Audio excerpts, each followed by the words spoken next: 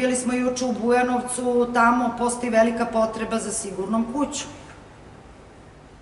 Sad ne mogu ja da kažem i da obećam, bilo bi ružno, ženska mreža Srbije otvorit će sigurnu kuću u Bujanovcu, organizovat će, stvorit će uslove, to je ružno i nepravedno prema ovaj, ljudima iz Bujanovca i okoline, ali možemo nekim savetima, kontaktima, idejama i drugim vidovima pomoći da im pomognemo da što pre ostvare taj cilj. E, s obzirom da se mi e, bavimo i nacionalnim manjinama i problemima nacionalnih manjina i sarađujemo sa Nacionalnim savetom Roma i sa Romima, zašto da ne, i sa drugim nacionalnim manjinama u Srbiji kao što su Crnogorci, Makedonci, e, sada su tu i Rusi i ovaj, tako dalje. Veliki problem je i nedovoljno obrazovanje ili samo su sa osmim, osmogodišnjim školom, Znači, veliki problem je i a, potreba za prekvalifikacijom, što isto će ženska mreža, da kažem, baviti se time.